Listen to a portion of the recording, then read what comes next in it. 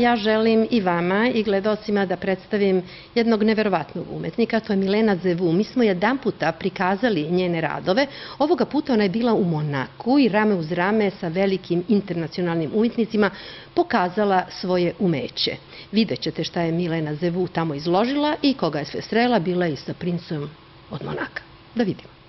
fait, vous êtes entré par hasard, tout ébloui par les lumières du boulevard, bien installé devant la grande table. Kakav je princ, kako izgleda? Nešto se ugojio, jel da?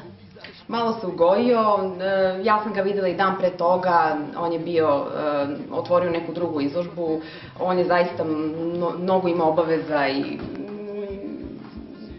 jednostavno je previše okupiran, ali je, mu je bilo jako drago jer bio oduševljen. On je prvi put video sve te orlove, ipak je to veliki projekat, dosta novca je uloženo u to i jednostavno bilo mu je drago i eto, prijatno. On je bio iznenađen e, da sam ja uspela za relativno kratak vremenski period da e, uradim tu tako specijalnu tehniku sa Swarovski kristalima, nije mogo da veruje da ima 68.000 kristala, on mi je čestitao i bio zaista fasciniran. Bili ste na internacionalnoj velikoj izložbi u Monaku. Ste vi bili jedini predstavnik sa ovih naših prostora? Jedini predstavnik sa ovih naših prostora, da, ali to je internacionalna grupna izložba u kojoj je učestvovalo 55 umetnika iz celog sveta. Um, izložba uh, je otvorena u junu mesecu, 6. juna u Monte Carlo i trajeće do oktobra uh, 2009. godine. Um, to je izložba pod pokroviteljstvom Fondacije Princa Alberta od Monaka. I e, centralna tema te izložbe e, su e, Bonelli orlovi. To je jedna posebna vrsta e, orlova koja izumire sa planete Zemlje i e, e, Fondacija Princa Alberta već duže vremena pokušava da ukaže na ovaj problem. Iz tog razloga je ovo centralni umetnički događaj ovog leta u Monte Carlo. Last let your heart Ja sam uradila uh, orla koji uh, se zove Armor of Light, što bi bilo prevedeno uh, svetlosni štit.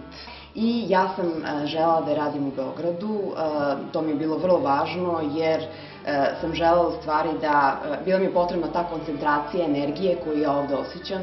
Fantastic point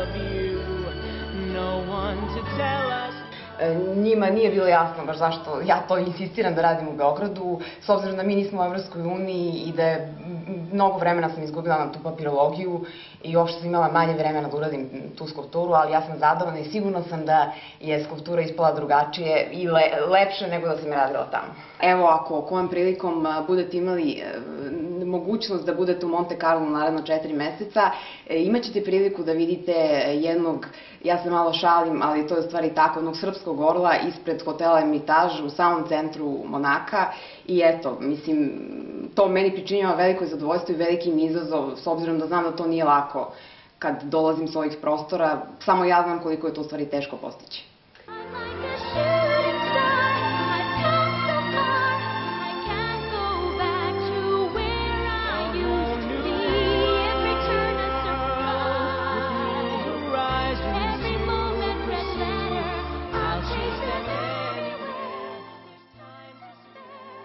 Moram da kažem da 27. E, jula e, će biti e, izabrana tri orla koja će biti reprodukovana ponovo i ta tri orla će trajno biti izložena u Monaku.